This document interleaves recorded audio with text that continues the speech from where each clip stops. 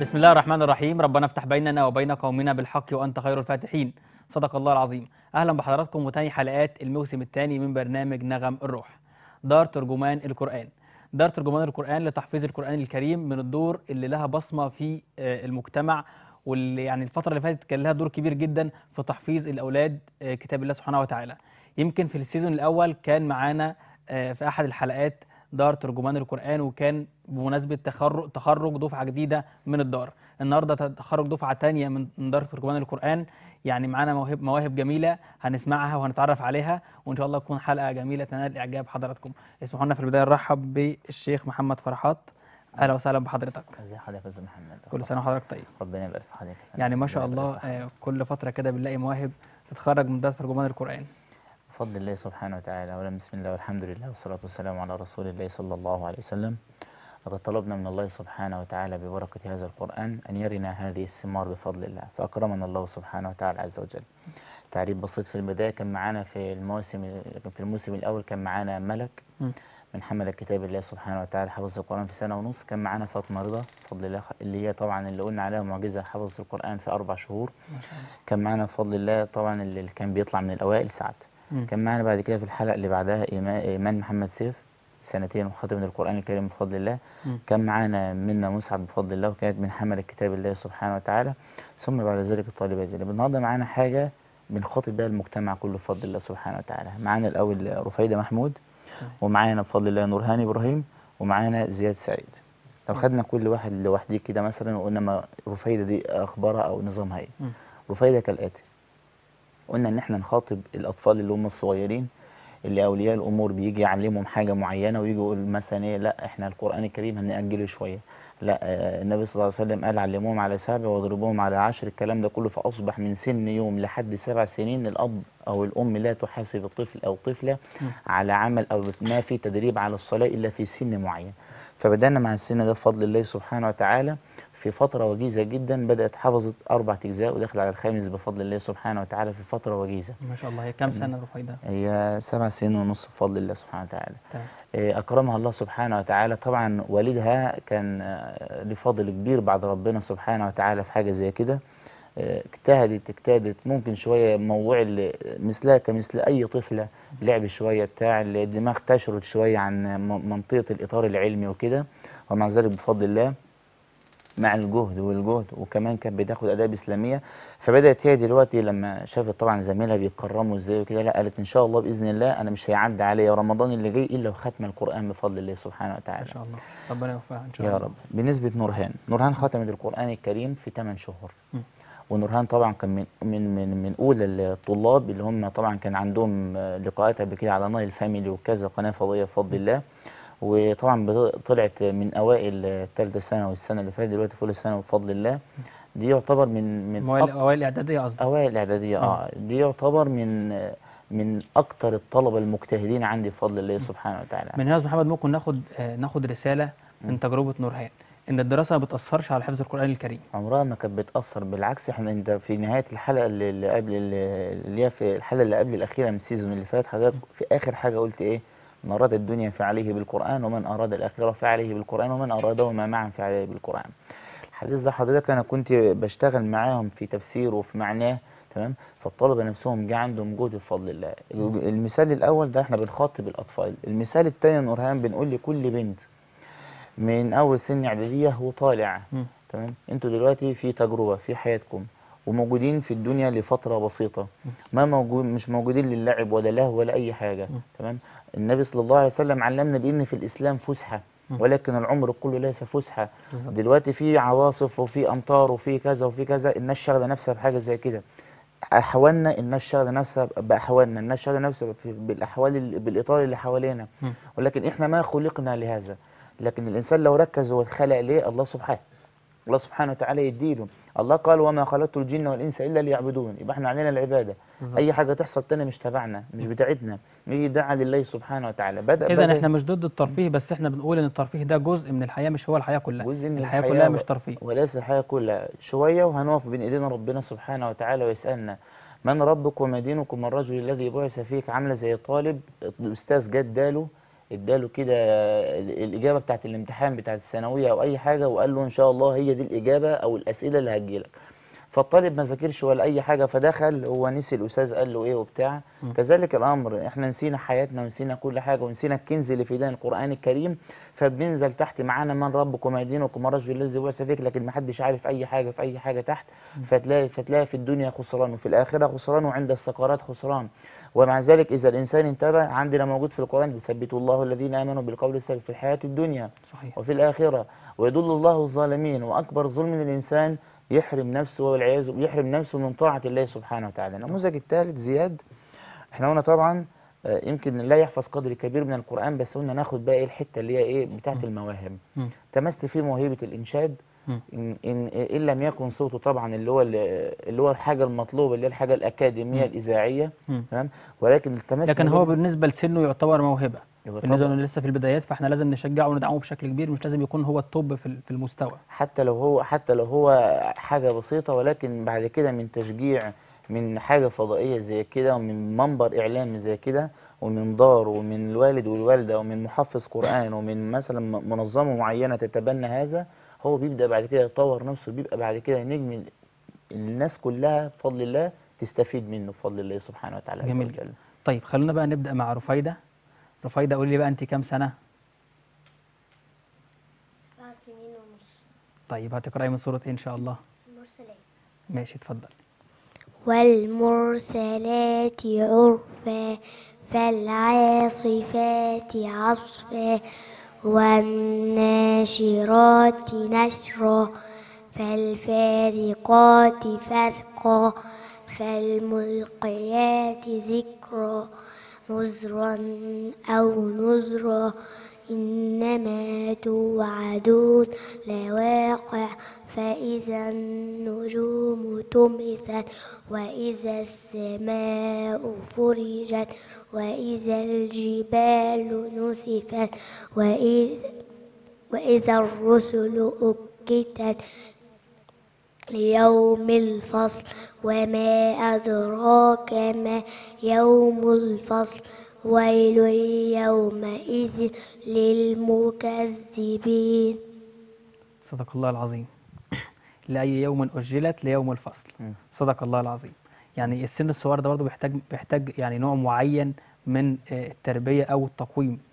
هو طبعا يمكن يمكن الناس دلوقتي مستغربة طيب ممكن يا حتى ما قالتش بسم الله الرحمن الرحيم في. البداية حتى ده. لا يا اخوانا والله الحاجات الصغيرة اللي زي دي اللي بسببها ربنا سبحانه وتعالى منزل الخيرات والبركات على الأرض. لما الأم في البيت أو الأب في البيت أو الشاب اللي هو متزوج عنده أولاد أو موهبه أو الشاب المو- المواهب نفسها اللي بتطلع هي متزوجة القراء المتزوجين لما يلاقوا مثلا حاجة زي كده هي مش صوت. ولكن يلاقوا الهمة ديت عندنا طبعا في سورة العنكبوت آيتين في الآخر والذين جاهدوا فينا لنهدينهم سبلنا. آية رقم ستة ومن جاهد فإنما يجاهد لنفسه.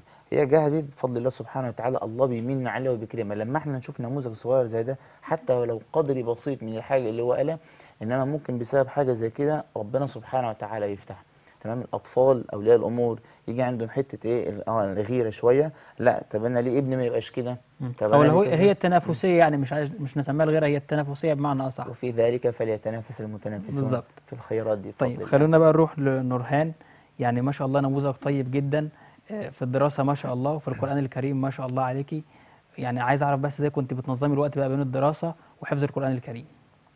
آه، طبعا ال- الدراسة كان مجال دنيوي يعني. فأنا كنت بوفق الوقت كالآتي المذاكرة عادية خالص بس كانت آخر نص ساعة كنت بخليها للقرآن. فكنت حفظي يعني أول حاجة بتدبر حفظ القرآن وبعدين يعني أرتبه في في دماغي يعني وبعدين أبدأ أحفظ عادي. فكان ما بالنسبة لي بيأثر على الدراسة بشكل؟ لا فكان بالنسبة لي الحفظ سهل جدا. يعني أنا كنت بعملها آخر نص ساعة في يعني يعتبر في اليوم بتاعي. مم. هو حفظت ال القرآن الكريم في قد إيه بقى؟ 8 شهور. ما شاء الله. بدأتي كنت كنت في سنة كام؟ آه، كنت في يعني كنت في تانية إعدادي. مم. بس طبعا بقى في آه، ظروف حصلت فقعدت فترة كده ما شاء الله عليك. طبعا ما ننساش إن نور- نورهان في الأول كان الموضوع زيها زي أي بنت اللي هو مم. إيه هروح أجرب. بالظبط. كمثلها كمثل هروح أجرب. مم. جت العملية كانت شوية. أول أداب إسلامية تاني أداب إسلامية لقيته ممه من حالها هي ومجموعة معاها. مم. كل المجموعات منها طبعا اللي كانت معانا قبل كده كان برضه معاها بدأوا إن هم يسألوا. طيب بقى طب ادينا الخطة اللي هي نحفظ بيها كتاب ربنا سبحانه وتعالى في أسرع وقت ومع السرعة دي مش كروتة مع السرعة تدبر لآيات الله سبحانه وتعالى. تعليم منهج تعليمي مش آه. مجرد حفظ. آه كانوا يجوا يسألوني يتصلوا عليا في أي وقت؟ إحنا دلوقتي وصلنا للآية الفلانية. الآية ديت إحنا عاوزين قبل ما نحفظها طب إحنا عاوزين نعرف معناها إيه؟ مم. بتقول إيه؟ طيب ال- ال- المشايخ اتكلموا عنها إزاي؟ طب هل المفسرين كان لهم رأي في حاجة زي كده؟ كان بدأ الحوار من كده. فبالتالي كان عندهم مساحة إن هم يحفظوا قدر كبير بفضل الله سبحانه وتعالى. الله. ما كانش عندهم مشكلة. طيب خلونا نسمع بقى آيات كده من من نورهان هتسمعينا إيه؟ آه، سورة آل عمران جزء منها ماشي اتفضل. أعوذ بالله من الشيطان الرجيم. بسم الله الرحمن الرحيم. ولقد كنتم تمنون الموت من قبل أن تلقوه فقد رأيتموه وأنتم تنظرون. وما محمد إلا رسول قد خلت من قبله الرسل. أفإن مات أو قتل انقلبتم على أعقابكم. ومن ينقلب على عقبيه فلن يضر الله شيئا وسيجزي الله الش- الشاكرين. وما كان لنفس أن تموت إلا بإذن الله إلا بإذن الله كتابا مؤجلا. ومن يرد ثواب الدنيا نؤته منها. ومن يرد ثواب الآخرة نؤته منها وسنجزي الشاكرين. صدق الله العظيم. صدق الله العظيم. الله يفتح عليك. يعني ما شاء الله برضو ال- الأولاد آه، في السن الصغير ده وفي مراحل مختلفة بنلاقي فيه طفرة آه، ضربة تعملها. اللي كنت كنت قلت حاجة قبل كده وبعدين آه، دي الآن برضو بعيدها. آه، كان أحد العلماء الكبار آه، من علماء الهند لما راح اليابان عشان يعمل مناظرات نظام دعوة إلى الله سبحانه وتعالى فسأل فسأل واحد الناس بيقول أنت بتعمل كده ليه؟ قال له يا فلان ربنا سبحانه وتعالى يجي يوم يقول لي يا فلان أنت ذهبت إلى بلاد اليابان لما لم تدعو إلى الله سبحانه وتعالى مم. فأنا خدت الموضوع نظام دعوة مم. نظام دعوة إلى الله سبحانه وتعالى بقولت مثلا دول أنا مش هشتغل عليهم ك- كأشخاص مم. إنما أشتغل عليهم عشان أصدرهم اللي بره يحت- ي- يحتذي بهم مم. بفضل الله سبحانه وتعالى اللي بره يعني هو مش مجرد بيهم. نموذج هو نموذج عايزه كمان يأثر في المجتمع ويقتدي بيه الأولاد اللي في سنهم إحنا دلوقتي في قرية مم. القرية ديت فلنفرض إن رفيدة مثلا في شارع مم. الشارع دوت فيه عدد من البيوت لما مثلا الأم تشوف رفيدة ما شاء الله مجتهدة جدا جدا الأم دي والأم دي والأم دي كلهم هي- هيجي عندهم حتة تنافس فبالتالي هي- هيغيروا مثلا من رفيدة في في الخير مم. فالشارع كله هيتأثر بيها الشارع كله يبقى بسم الله ما شاء الله عليه طبعا كذلك القرية كلها بفضل الله سبحانه وتعالى أنا ممكن واحد بس يأثر في قرية وممكن بسبب واحد بس يوم القيامة ربنا سبحانه وتعالى يرحم القرية كلها ويدخلها الجنة بسبب بسبب واحد جميل. بفضل الله سبحانه طيب وتعالى بالنسبة لزياد بقى بدأ معاك إمتى؟ بالنسبة للزاد هو بدأ معايا من قريب بس في دخوله معايا ما طولش معايا في دخوله كان بيقرأ كده في مرة فبعدين مولف أنا وأنا بقرأ معاهم ادهم حتة كده وبتاع مم. فلقيته هو رد. تمام فالتمست عنده حتة اللي هي إيه موهبة الصوت وكده.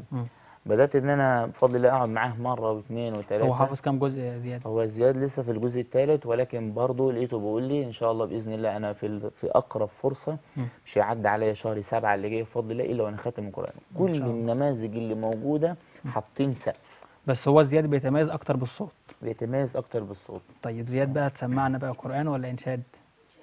ماشي اتفضل قمرون قمرون قمر سيدنا النبي قمرون وجميل وجميل وجميل سيدنا النبي وجميل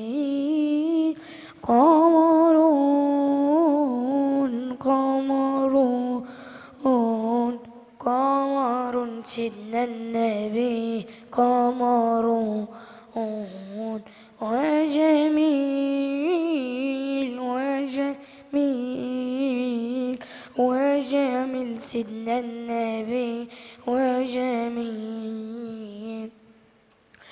وكف المصطفى كالورد نادي الله الله. وعطره يبقى إذا مست أيادي الله الله. وكف المصطفى كالورد نادي الله الله وعطرها يبقى إذا مست أيادي الله الله وعم نوانها كل العباد وعم نوانها كل العباد وعم نوانها كل العباد حميم الله. يا خير البراء يا قارون. قمرون قمر سيدنا النبي قمرون. وجميل وجميل وجميل سيدنا النبي وجميل. الله عليك يا زياد. يعني طبعا يا أستاذ محمد المواهب وإن كانت جميلة فطبعا أنت مستمر معاها عشان تنمي المواهب أكتر من كده. لازم ده دي رسالة وربنا سبحانه وتعالى استخلفني على حاجة زي كده فقال لك لازم أكون قد المسؤولية اللي ربنا سبحانه وتعالى حاطني فكذلك و- وصية لولي الأمر. مم. للأم اللي في البيت وللأب اللي في البيت. الطفل الصغير بيتأثر بالكبيرة والصغير يعني أنا أنا واحد من الناس أنا عندي بنت رفيدة سنتين وأربع شهور بفضل الله سبحانه وتعالى عز وجل. قبل ما تنام ما ترتاح إلا على صوت الشيخ مصطفى إسماعيل وحفلات الشيخ مصطفى إسماعيل. ولما تلاقي الجمهور كله بيقول ما شاء الله تانية تعمل زيهم بفضل الله. أصبحت تتأثر بالشيخ مصطفى إسماعيل. الكلام مكسر ولكن الفاتحة معاها المعوذتين بفضل الله والإخلاص معاها سنتين لسه وأربع شهور. وتقول لهم وتقول لهم نفس الحركات بتاع الشيخ مصطفى إسماعيل تمام؟ متأثرة بشكل كبير. متأثرة بس السن السن قد إيه؟ الناس, الناس بتقول لا السن ده مش مطلوب منه إن هو يتعلم. لا ده بالعكس ده هو أفضل سن إن هو يتعلم حتى لو سماعي. حتى لو سماعي. ده بعد كده لما يطلع أنت ما تخافش عليه بعد كده. ربنا سبحانه وتعالى بيديله بقى من الملكات وبسبب هؤلاء المجتمع كله أصل المجتمع ده عبارة عن صورة. مش صورة وبقى قصاد الناس. لا في ربنا سبحانه وتعالى في ملائكة. تمام؟ ربنا بيباهي بين الملائكة. النماذج دي لما ربنا سبحانه وتعالى بيشوفها ربنا سبحانه وتعالى بيباهي بالنماذج دي الملائكة. قبل ما نكون كويسين في عين الناس والناس كلها تتأثر بينا كذلك الملائكة بيكون- لها تأثرات وتأثرات الملائكة. اللهم اغفر لهم اللهم ارحمهم لكل من شارك في هذا العمل الخير بفضل الله سبحانه وتعالى هو زي ما حضرتك قلت إن الأسرة طبعا لها دور كبير وهي طبعاً. بتفرق بشكل كبير جدا مع. في تربية الأولاد طبعا لأن ال- الدار بيبقى مثلا 40% وبعدين بيتزود عليها 20% نظام الأداب الإسلامية 10% المراقبة من الدار 30% للأسرة والبيت وال 30% ده حاجة مش مش مش مش قليلة. تمام حاجة كبيرة. الناس ما تسألش 30% لأن لولا لولا لولا إن ال 30% دول لو ما كملوش ال 70% يبقى ال 70% ولا ليهم أي لازمة بالظبط. طيب الفقرة الجميلة دي بقى لو نختمها ببتال مع حضرتك كده ممكن تمتعنا بيه إن شاء الله. ماشي حبيبي. ماشي اتفضل آه، المايك.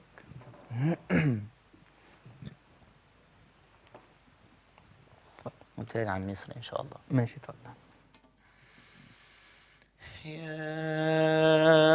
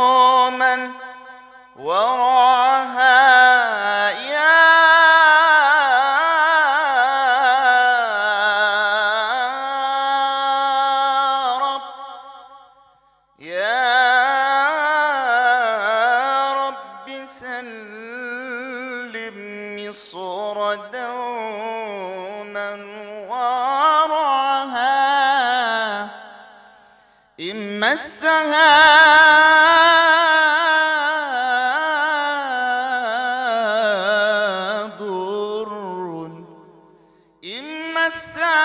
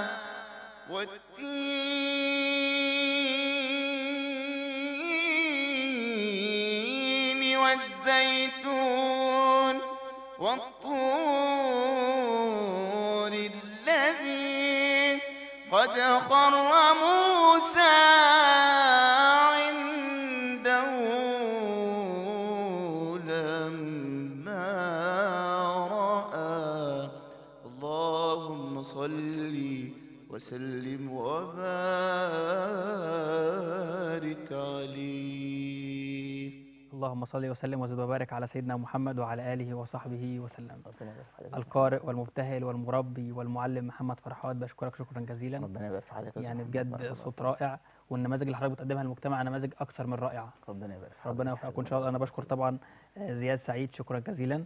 وبشكر آه، نورهان إبراهيم. وبشكر البنوتة الجميلة رفايدة محمود شكرا جزيلا ليكم ونتمنى نشوف مواهب كتير جدا تتخرج من دار ترجمان القرآن إن شاء الله. هنطلع لفاصل ونرجع نستكمل باقي فقراتنا. خليكم معانا.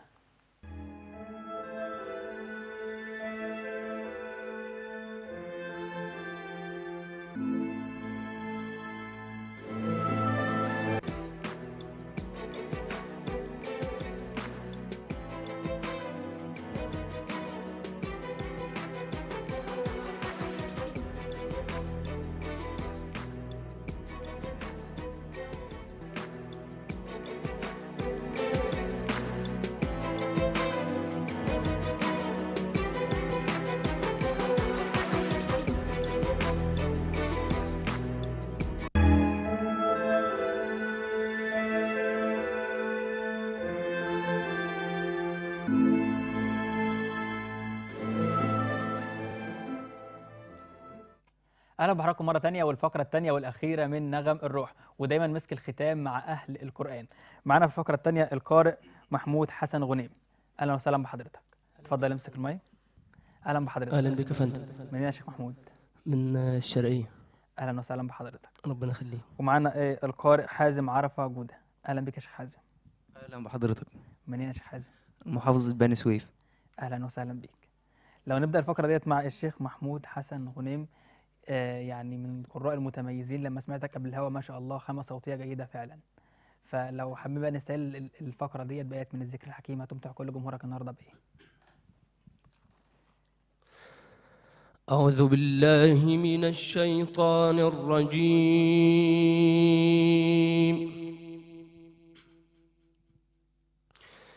بسم الله الرحمن الرحيم.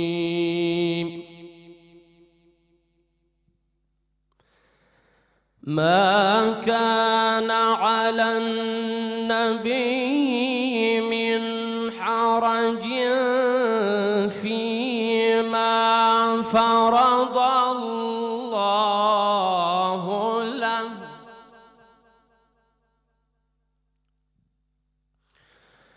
فيما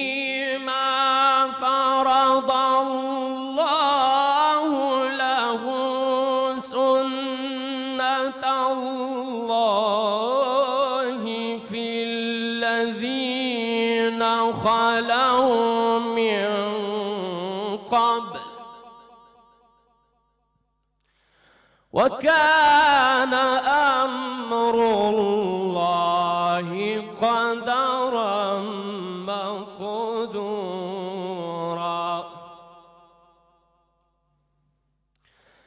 الذين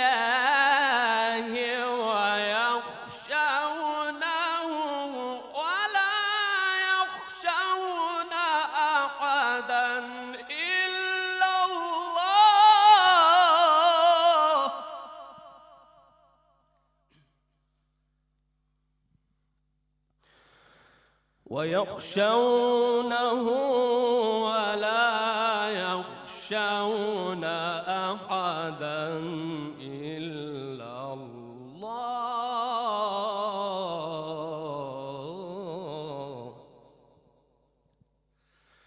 وكفى بالله حسيبا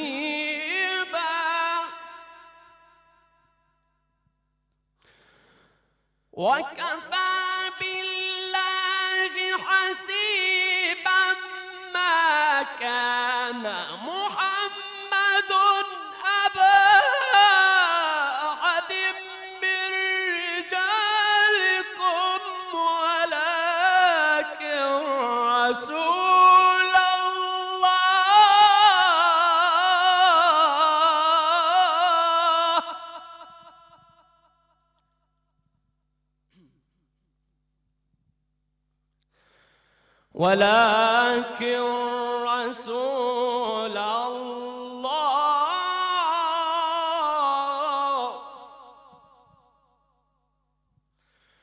وخاتم النبيين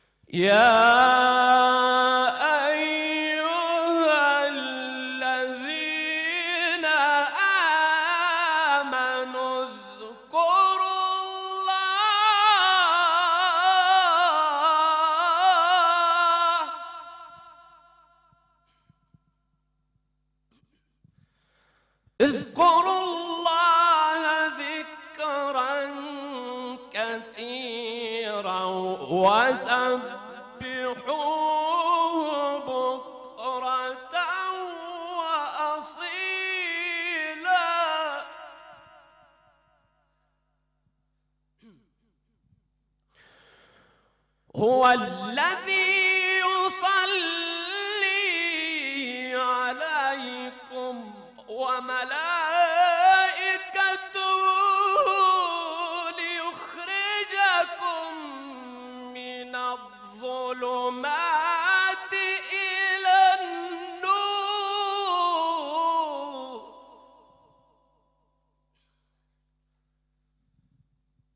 وكان بالمؤمنين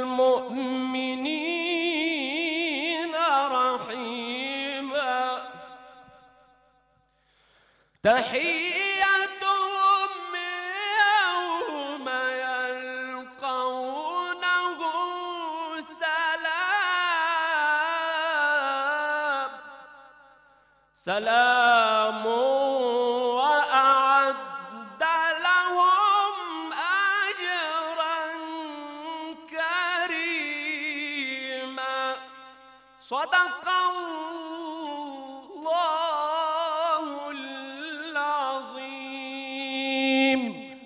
صدق الله العظيم. الله يفتح عليك يا مولانا. يعني ما شاء الله من الأصوات الجميلة ومن الخامات الصوتية الجيدة. اتفضل امسك المايك. يعني أكيد الأسرة كان لها دور معاك برضو.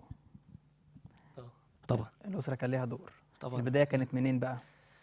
البداية دخلت الأزهر الشريف مم. وحفظت القرآن الكريم كاملا وأنا في تالتة إعدادي. مم. ختمت القرآن وأنا في تالتة إعدادي.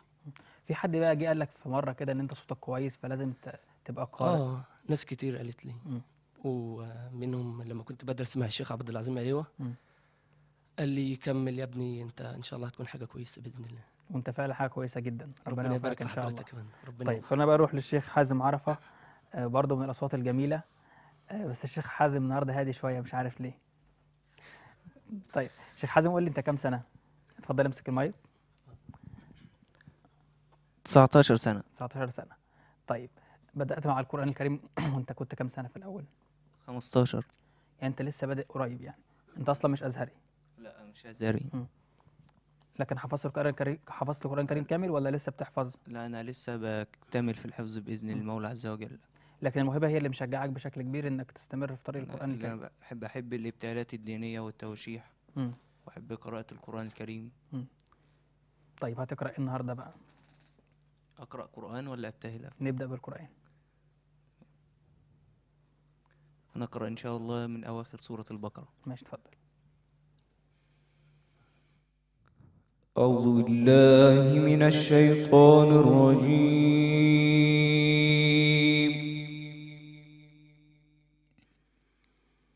بسم الله الرحمن الرحيم.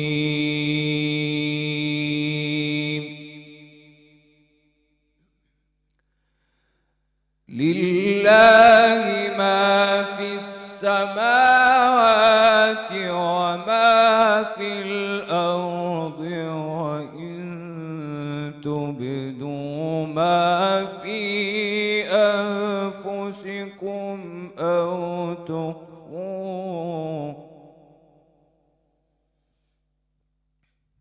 وإن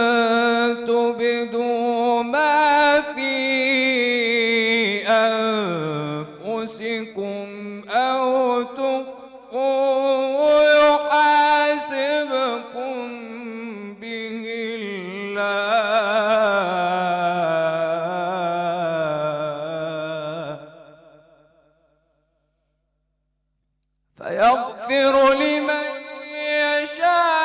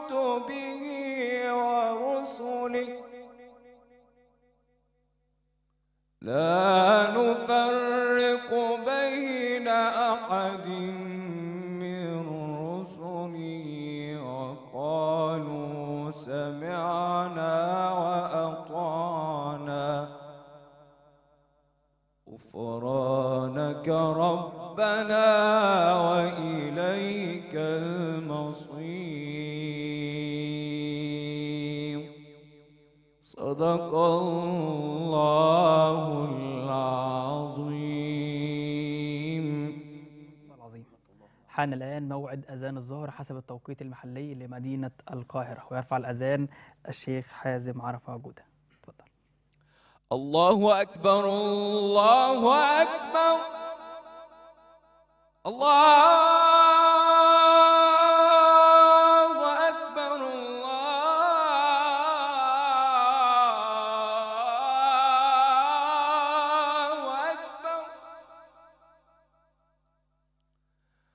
أشهد أن لا إله إلا الله.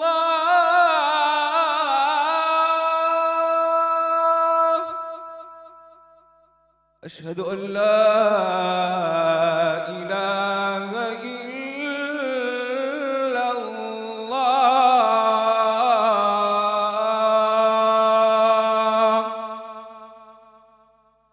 أشهد أن محمدا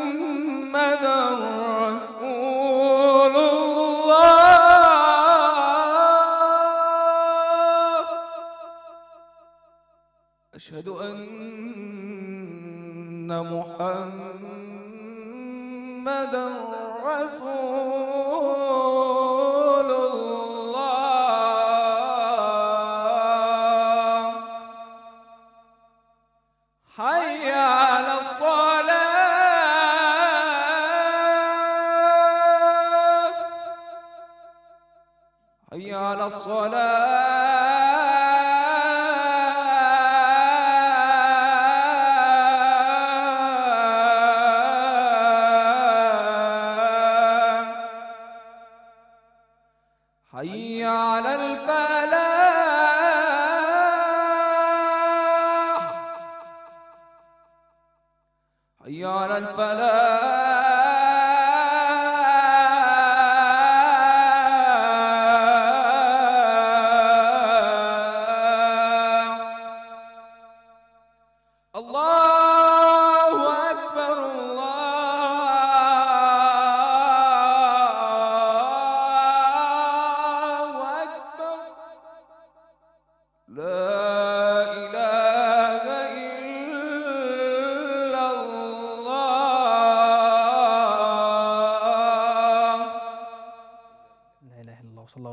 سيدنا محمد وعلى آله وصحبه وسلم. طيب خلونا بقى نروح للشيخ محمود حسن غنيم. يعني زي ما امتعتنا كده في القرآن الكريم في قراءة القرآن الكريم آه، تمتعنا أيضا في الإبتهال.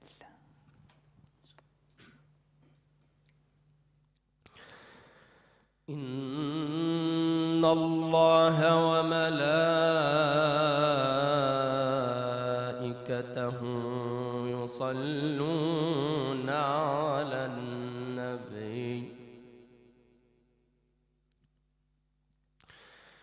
يا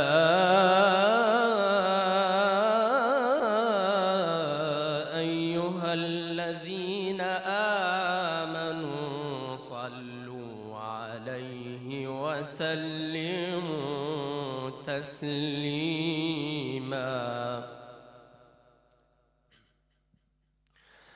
عفوك ورضاك يا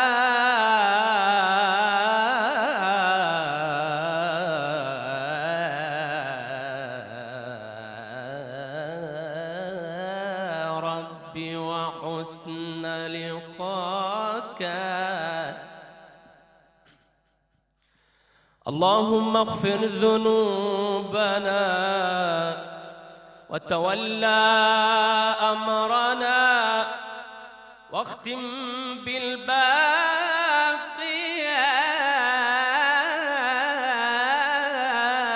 الصالحات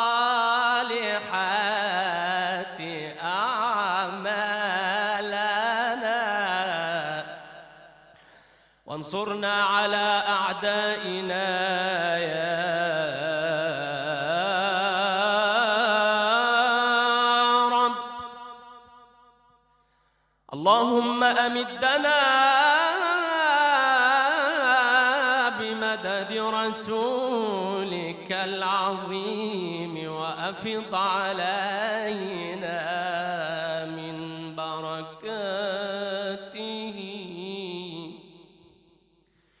يا أكرم الأكرمين يا رب. سيدي يا رسول الله يا خير الورى. سيدي يا رسول الله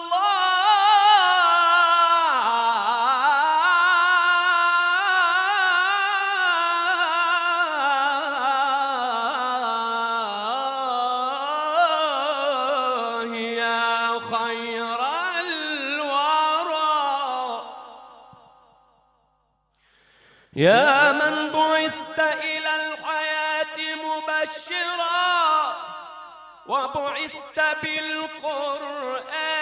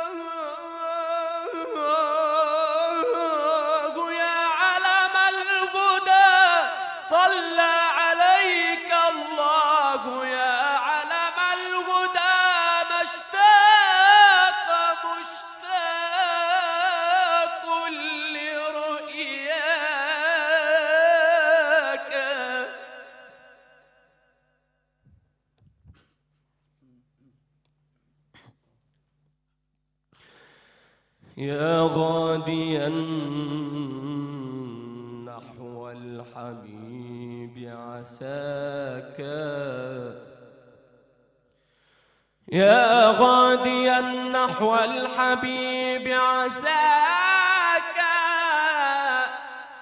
يا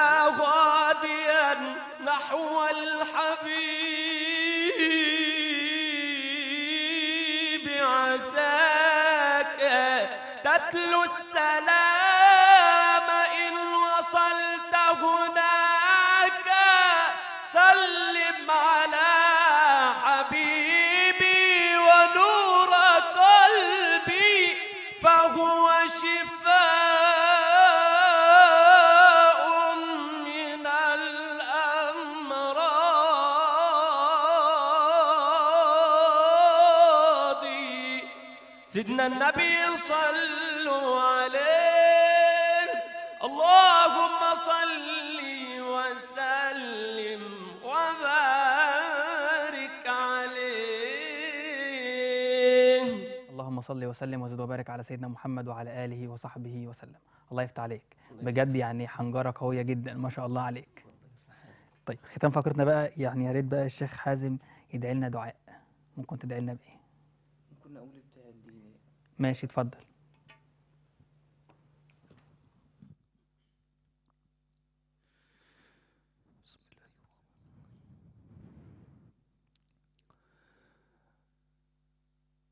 جسد تمكن حب أحمد فيه.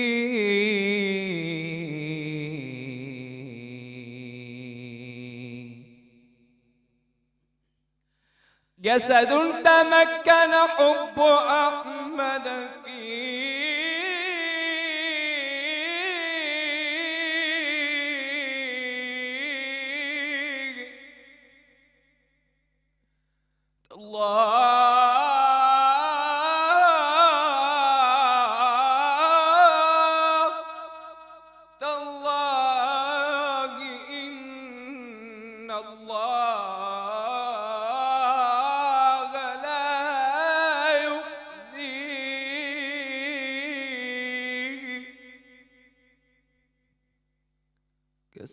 تمكن حب أحمد فيه جسد تمكن حب أحمد فيه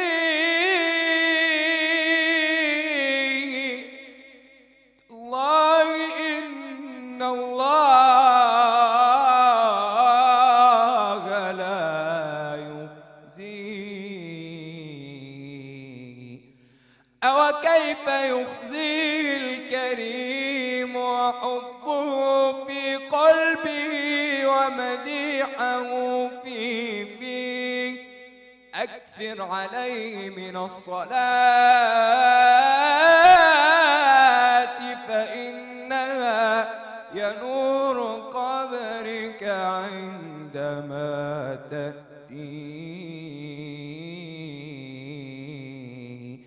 سيدي جميل وله جبين. يفوح مسكا يفوح خردل والبدر يهفو من نور محمد. صلاة وسلاما عليك عليك وعلى آلك وأصحابك أجمعين.